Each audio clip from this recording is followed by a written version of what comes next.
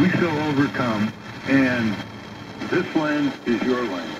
I mean, this land is your land.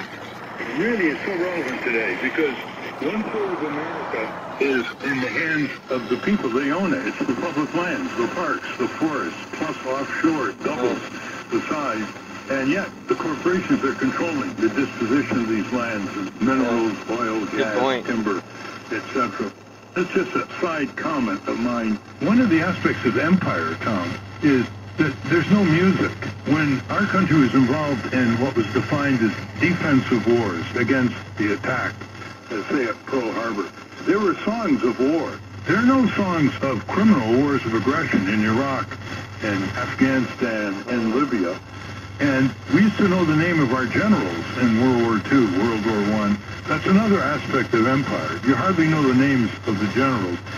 What is your comment? I'm proud of what you're fair to doing. Say that when you have evil, criminal wars of aggression, you're not going to have music.